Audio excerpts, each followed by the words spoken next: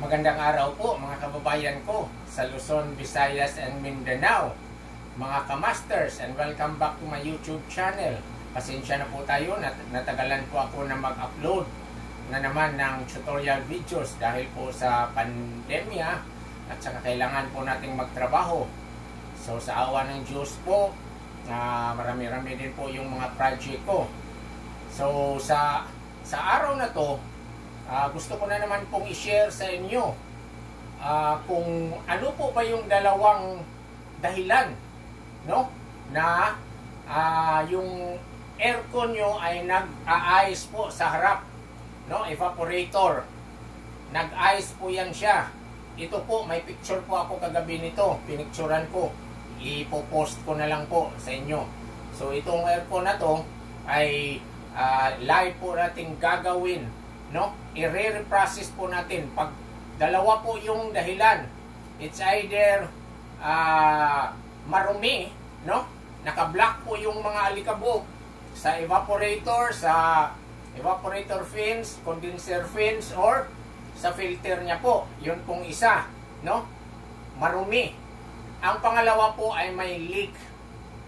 No? Leak. So, kung pag may leak po, automatic, no? Sabihin na po natin na reprocessing. I-reprocess po yung unit na yan pag may leak. No? So yan po ang gagawin natin una ngayon. I-reprocess natin ang aircon na to. Okay? So, ah, tatanggalin na po natin ang aircon na to.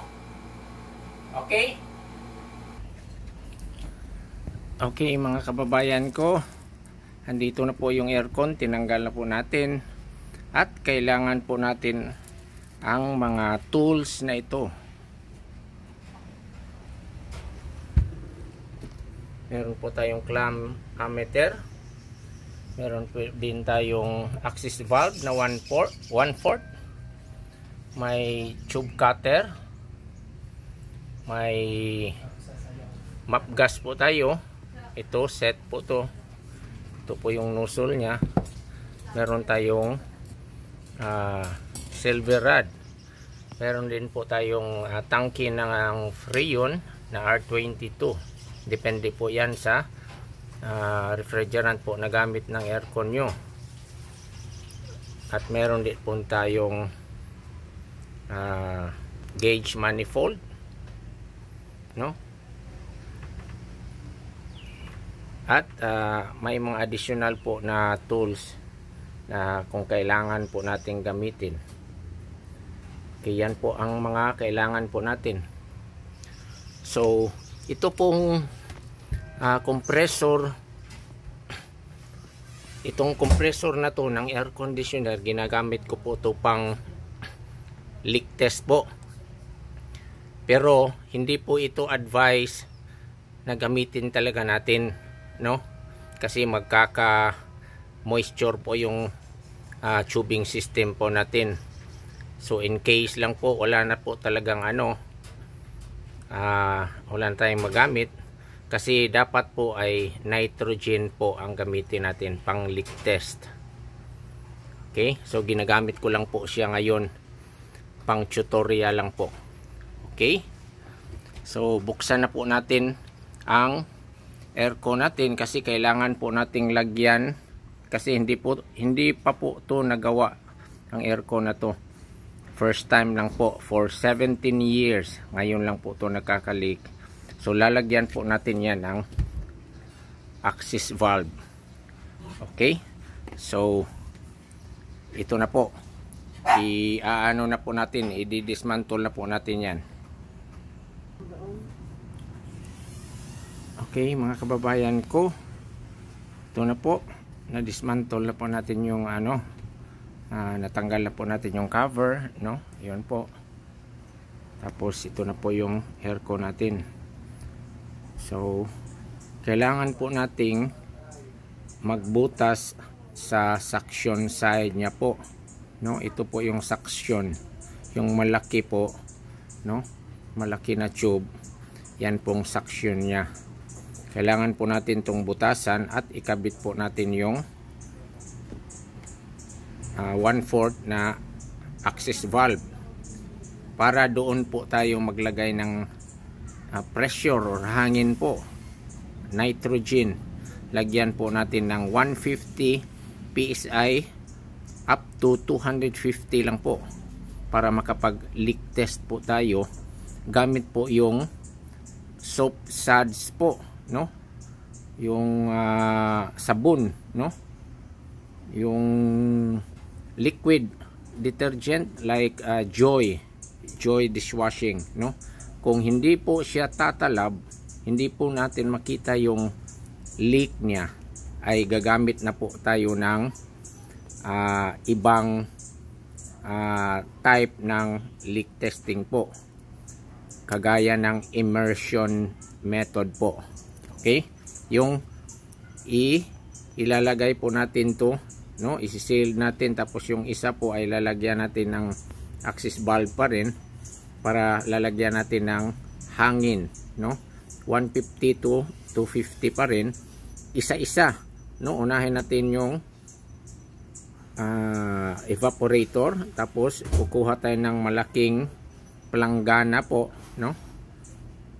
Malaking planggana lagyan lagyan natin ng tubig at ilalagay po natin to sa gitna so that is immersion method po no makikita nyo po wala na pong paltos yan paglagay nyo po nito sa isang planggana at may tubig sigurado po pag may leak bubula po yon okay in case lang po hindi natin makita sa subsads po na method. Okay? So, unahin po natin yung pagkabit ng access valve. Bubutasan po natin to. Okay? Diyan lang po kayo. Ayan na po. Mga kababayan ko. Ayan, kita nyo. Lumalabas na po yung freon. Ayan. Nabutas na po natin. At dyan po natin ikakabit yung uh, one fourth na access valve po yan ito po yan butas na po yan. Okay isisil natin dyan ha? Sandali po ha? Dyan na po kayo mga kababayan. Okay mga kababayan pag seal nyo po nito kailangan po natin tanggalin yung uh, nasa ilalim po. Yung sa amin po nito ay kanyuto po. To para hindi po to masunog. Kasi may rubber gasket po to. Okay? So ikakabit na po natin to dito. Okay? Siya lang po muna kayo. Okay mga kababayan ito na po. Isi-shield na po natin yan. Yan po hinahawakan po yung access valve natin. At ito po yung map gas natin okay seal po natin yan. Gamit po yung silver rod. Okay sandali lang po. Hintay lang po kayo dyan. Okay mga kababayan nandito na po. Nakabit na po natin yung ah uh, access valve na 1 4 po. Ito at siguraduhin po natin na wala pong leak ito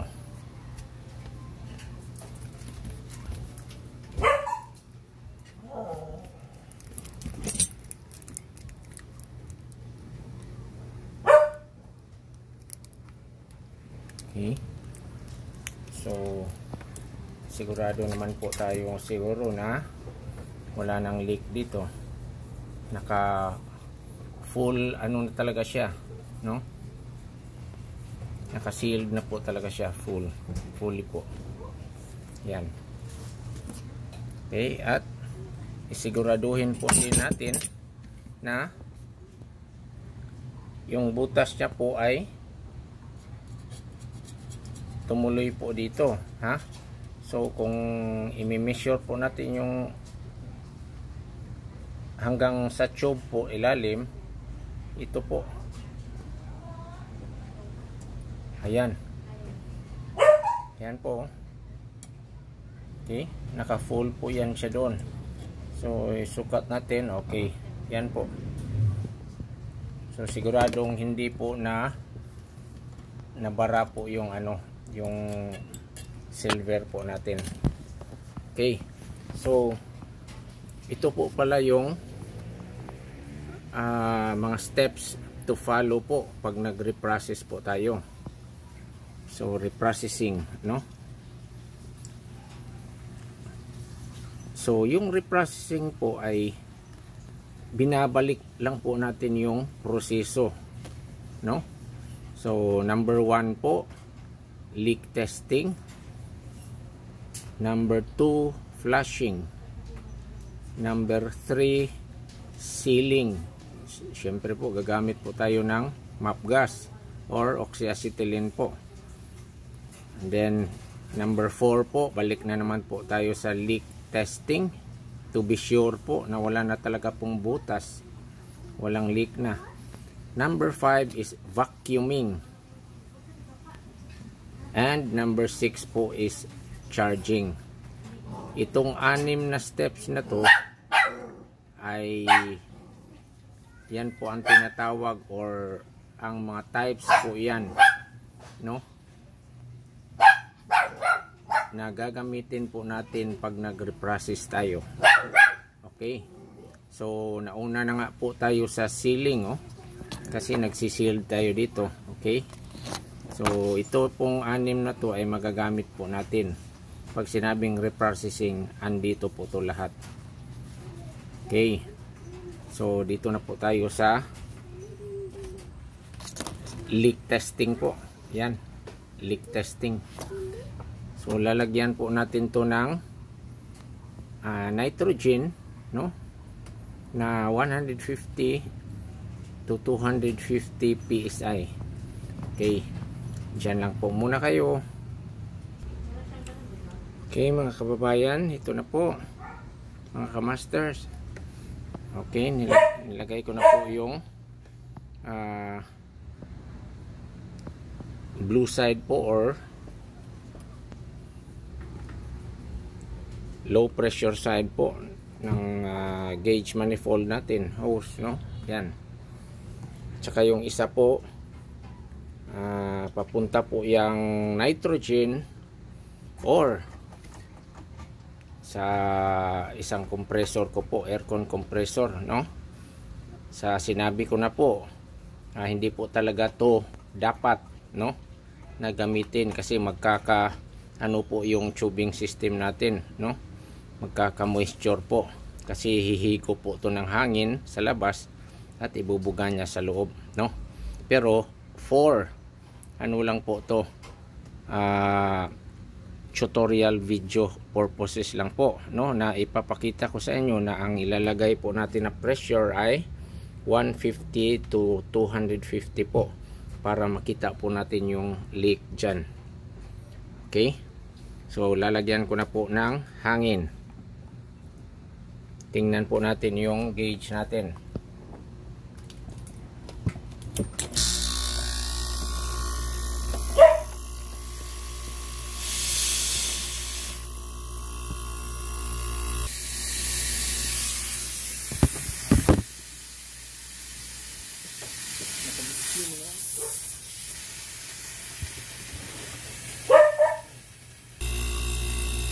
Yan na kababayan.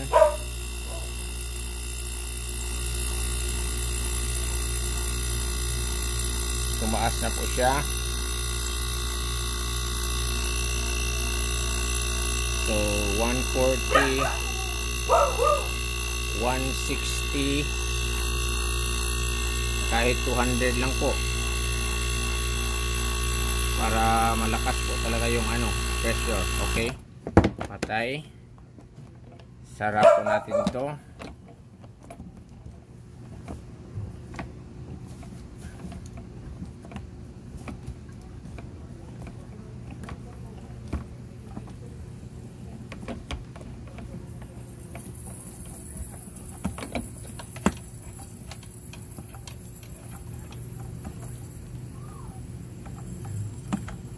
Kita nyo po bumaba po yung ano yung pressure na nilagay natin. So from 200 almost 200 yan bumaba po.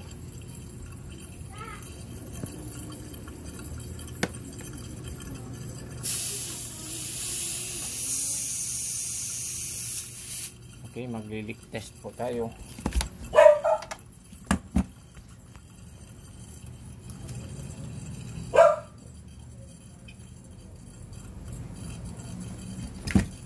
ito na po yung uh, subsides natin no? Hahanapin ko pa po yung uh, leak tapos kung meron man po papakita ko po sa inyo. Dyan lang po kayo wag po kayong aalis. So mga kababayan ko uh, itong leak na to ay parang maliit po. Parang micro leak so hindi natin makikita sa paraan po ng soap suds no? So kailangan po natin tong isa-isahin. So ang una po natin gawin ay tanggalin po muna natin yung evaporator.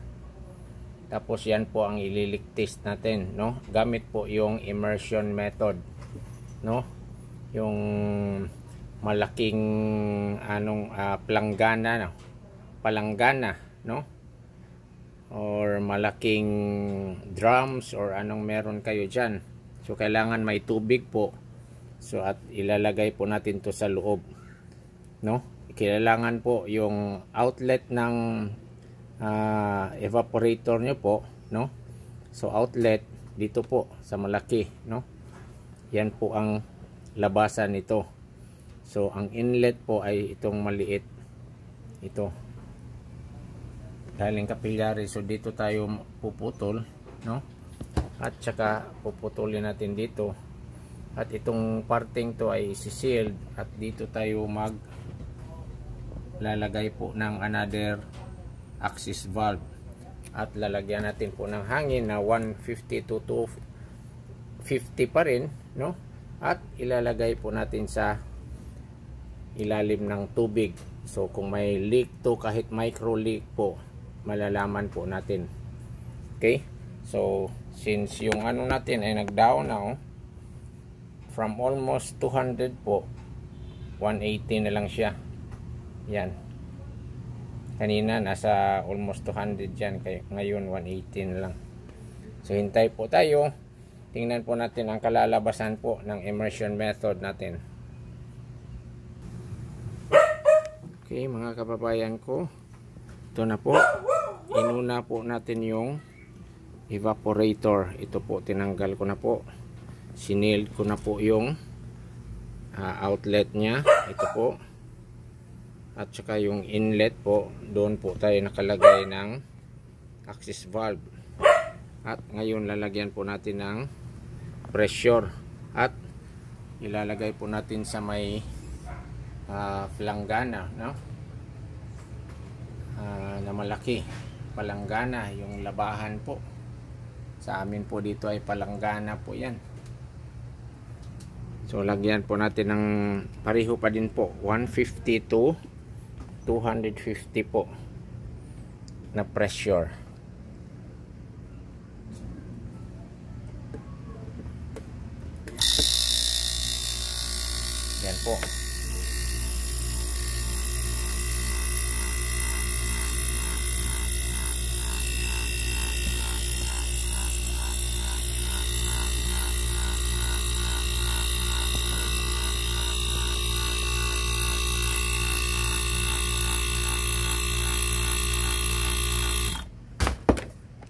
Okay, nilagyan lang po natin ng uh, di po umabot ng 200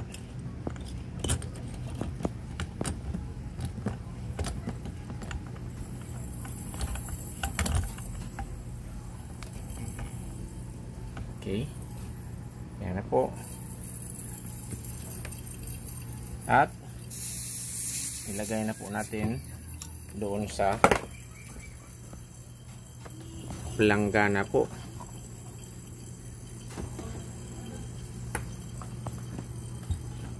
Tingnan po natin kung may leak po ba itong evaporator na to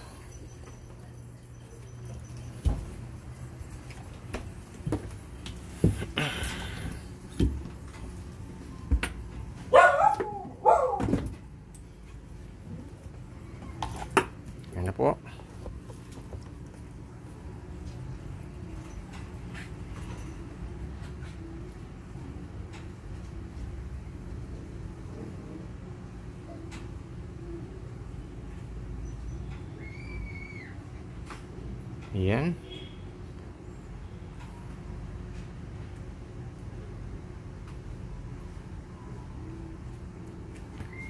Standby lang po muna.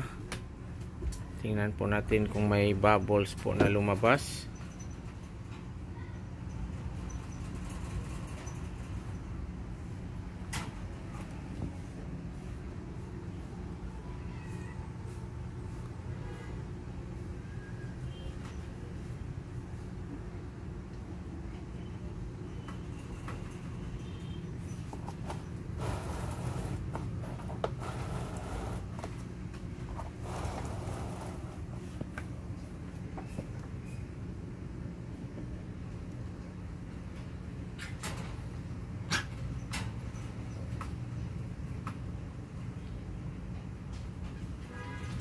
Ayan po, parang wala po tayong nakikitang bubbles, no? Kasi kahit anong liit po or micro leak na meron siya, makikita po ito dito. Pero ngayon po wala po. Ayan po, wala pong indication na may leak po yung evaporator natin. Yan. Tsaka yung pressure po natin ay yun din po. Yun pa rin. Mga almost 190. Ayan, 190 PSI. So wala siyang leak dito, yung evaporator natin. Okay. Baliktarin po natin baka dito sa yung mga mga joint niya po. Yan. Wala pa rin po. Wala oh. Okay. So siguraduhin nyo po na paglagay nyo po nitong ano evaporator sa tubig, meron po siyang pressure ha. Kasi pag walang pressure tapos may butas po yung evaporator natin, papasok po yung tubig doon sa lalim. So wag nyo muna pong ilagay kung walang pressure. So dapat may pressure po. So check na po to. Yung uh, evaporator natin ay wala pong leak. So isusunod po natin yung condenser. So antay-antay lang po tayo.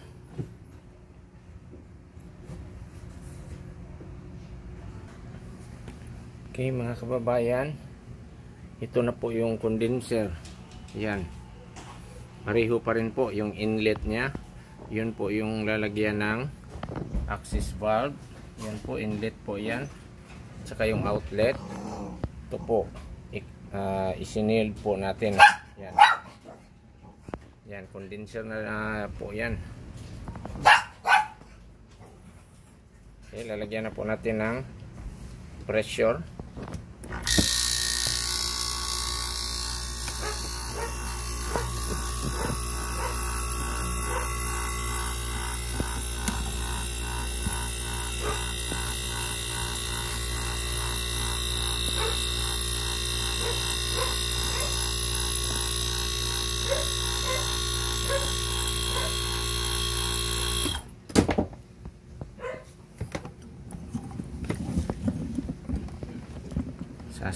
Po natin.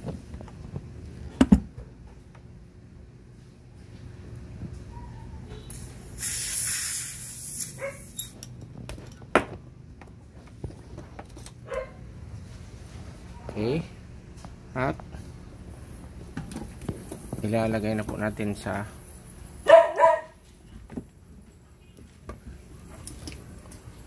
tubig po Ayan.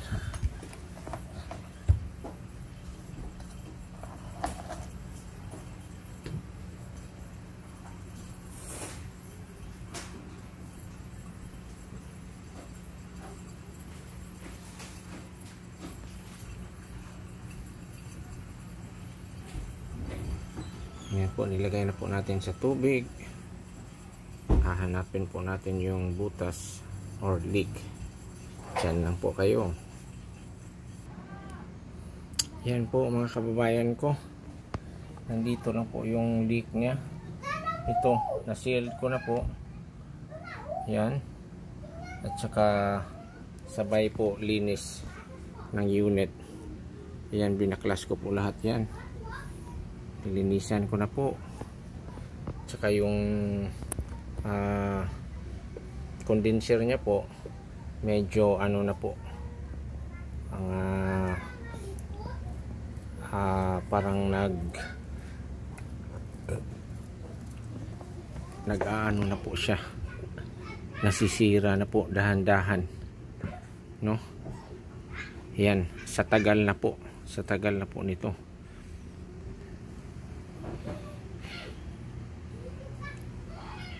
kasi pang ano na po to. Uh, mga 19 years na po tong aircon na to. One half lang po to pero malakas pa rin. Okay so ha? Ito yung leak niya. Maliit na maliit lang po. Ito. Sinilid ko na po. Yan.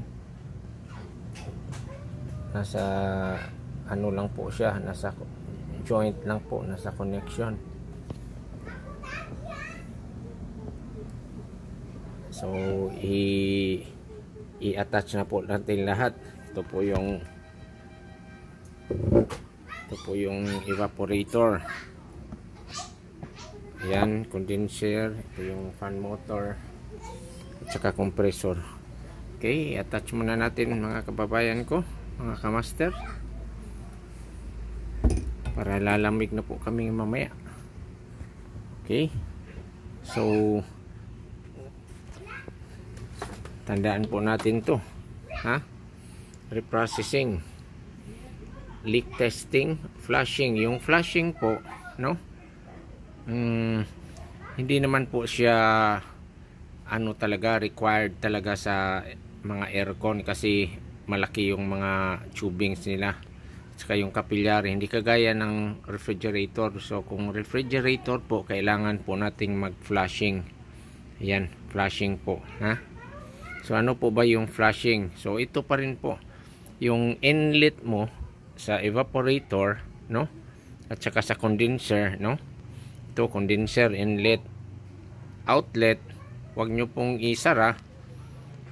Lagyan nyo po ng supply na hangin dito, nitrogen, no? At saka palabasin nyo po yung mga oil na nasa loob, no? Mga ano lang, mga mga sampung bitaw no? So halimbawa lalagyan nyo ng pressure dito. So ito hindi nakaseal to ha? Open to. So tatakpan mo yan ng kamay mo. Tapos sabay bitaw. Okay? Isa sampo. Psh! dalawa hanggang yung mga oil sa loob nito po ay matatanggal. Or may mga dirty particles po or ano dyan sa loob ng condenser at saka evaporator matatanggal po siya. Yan po ang flushing. So hindi po talaga siya required sa ano. Pero kung marumi talaga yung tubings ng aircon nyo o i-flap flushing nyo po. Kasi part po yan siya sa reprocessing. Pero sa refrigerator po wag natin pong i-bypass no uh, wag nating kaligtaan pong isama tong flashing kailangan po ng flashing pag refrigerator yung ginagawa natin. Okay? So ayan na leak testing po. Nakita na natin yung leak. Flashing uh, depende po yan no? Sealing. So isi-seal na natin lahat. Ibabalik na po natin lahat to. Buuhin natin.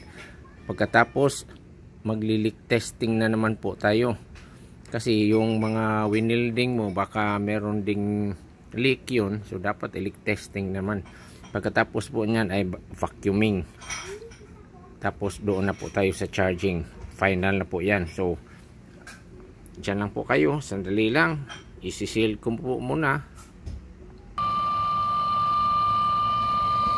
Ayan po mga kamaster.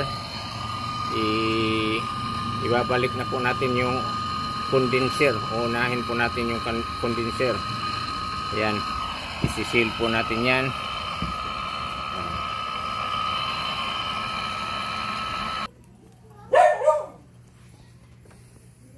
Yan na po mga kababayan. Mga kamaster. Nagli-leak test na naman po tayo. Final leak test po. Pinagkabit ko na po yung evaporator at saka condenser po. Ayan na. Ayan. Nakakabit-kabit na po yan.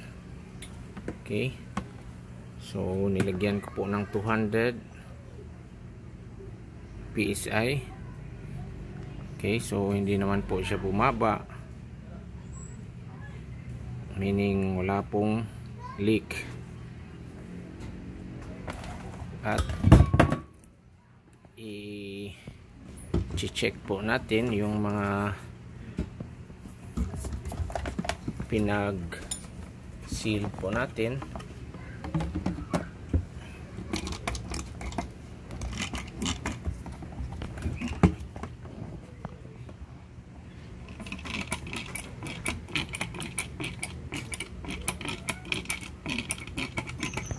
Yan po.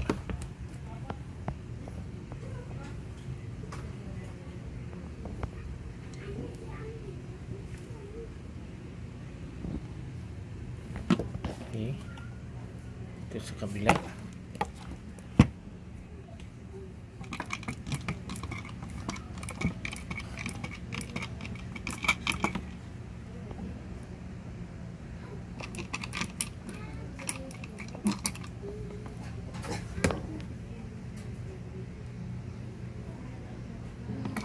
Okay. Wala naman pong leak. Po. Okay. At hindi din po bumaba. 200 pa rin. So, next step po ay mag-vacuum po tayo. Okay. For 1 hour uh, minimum po yung vacuuming natin. 1 hour ang minimum po wag po nating uh, kuhaan ng or wag po nating gawing 1 hour below. So dapat po 1 hour or 1 hour and 30 minutes. Yan po ang standard. Okay so vacuuming na po tayo. Okay mga kamaster ito na po. Mag-vacuuming na po tayo. Ito na po yung vacuum pump natin. Okay. So naka-plug na po 'yan. Paandarin po muna natin bago natin ikabit yung uh, common hose po ng gauge manifold natin. Para lang po pag-check kung okay yung vacuum natin. Yan. Yan niligop naman po dito bumubuga okay sabit na po natin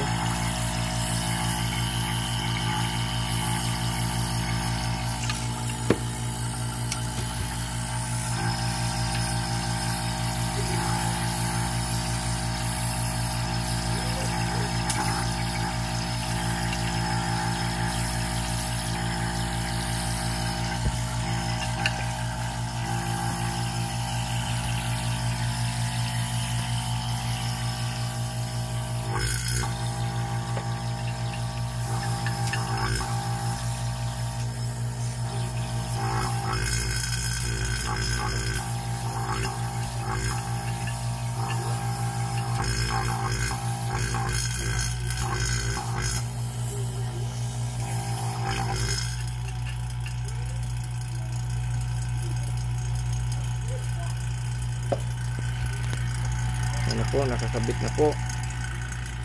So antay-antay po tayo ng 1 hour. Kasi bubuksan ko na po.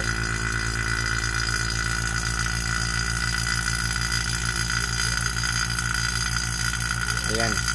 From 0 nag backward po siya going to 30 or mga 29 pa po. Kasi hinihigop pa niya po yung mga hangin.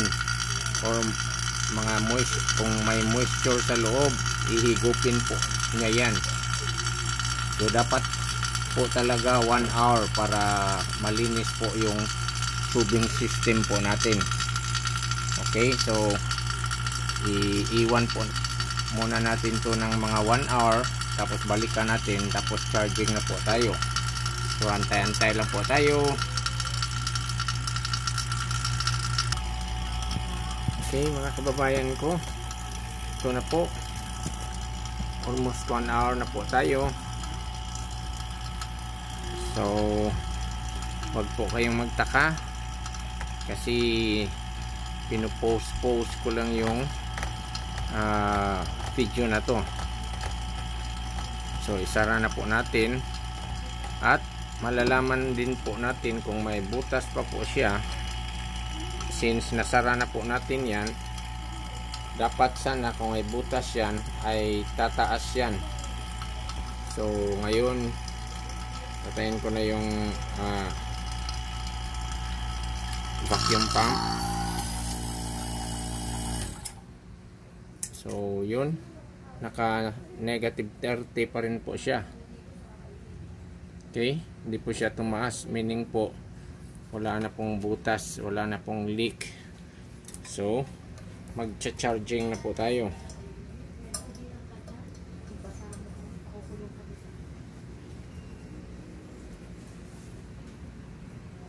Okay, charging na po tayo. So, buksan po natin yung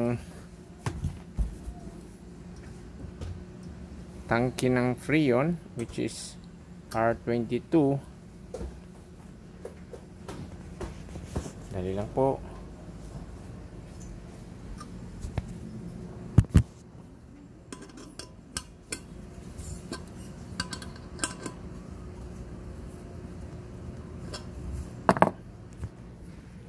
Yan, nakabukas na po. Tapos, uh, i purge po natin, no? Purging. Palabasan natin para kasi yung yellow hose na to ay may moisture. So paglagay natin dito, matatrap 'yon pag i-open mo to. Papasok 'yon sa tubing system. So ilalabas po natin dito sa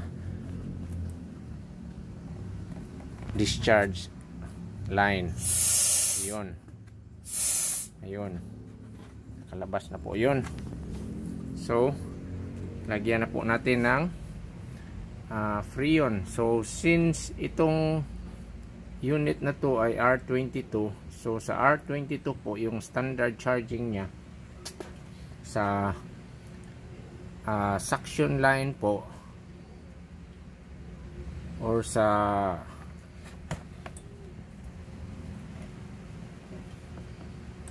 cooling side niya po no? So dito po sa dito po sa blue na to. Ha? So yung standard niya po charging ay 60 to 80 PSI so nakalagay dyan no 0 20 40 60 80 okay? So yung pwede po natin ding i-check sa discharge so dapat po yung 60 to 80 PSI ay match po siya sa discharge po. Pag i-reading nyo po yung high pressure ito po yung low pressure 60 to 80 pag i-reading nyo po yan dapat match. Ito po ay 260 to 290 lang po. Okay dapat 260 to 290 ito 60 to 80 lang po so lagyan po muna natin to so 60 to 80 kasi R22 Okay. Lagyan po muna natin. Okay, yun. Pumasok na po yung ano. Freon. Okay. And then, ipa-plug na po natin.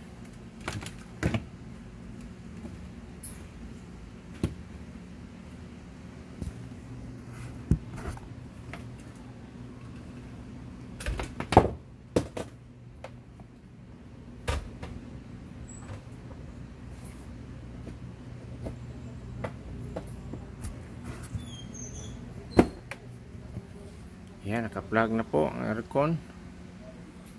So, ready na po. Charging na po tayo.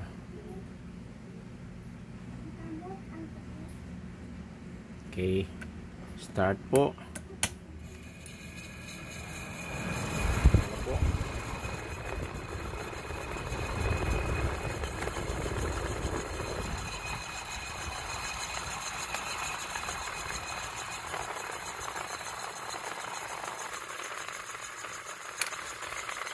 Ayan. So, pag gumagana po yung compressor, no? Kung ilan yung na-charge mo sa hindi pa umaandar, bababa po yun. Ayan, biglang bumaba. So, start na po tayo mag-charging.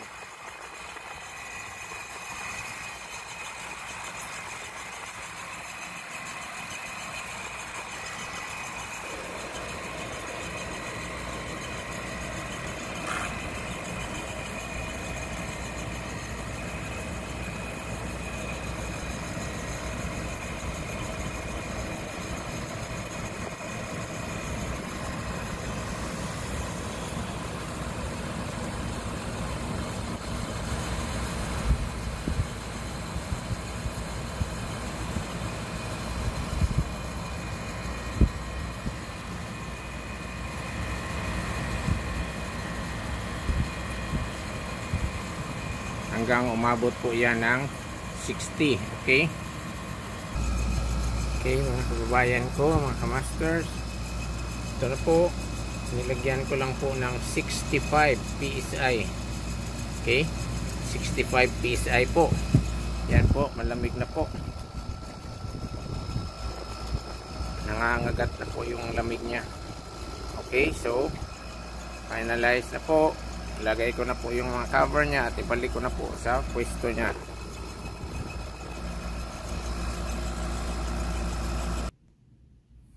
Yan na po mga kababayan ko. Tapos na po tayo ng reprocessing. So wag po nating kalimutan yung reprocessing po. Ito po silang lahat. Leak testing flushing pag refrigerator wag pong kalimutan yung flushing sealing, leak testing, vacuuming, and charging po. Kahit anong uh, refrigerant po ang gamitin natin sa depende po din kung anong refrigerant po ang ang meron sa unit po na inyong i-repair. So, dito na po tayo. Uh, pwede na po nating i-on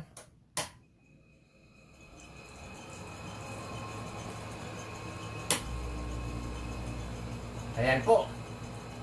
Super lamig po. So, doon po sa mga gustong magtanong na kung anong gusto nyo pong uh, gawin kong topic, mag-comments lang po kayo dyan.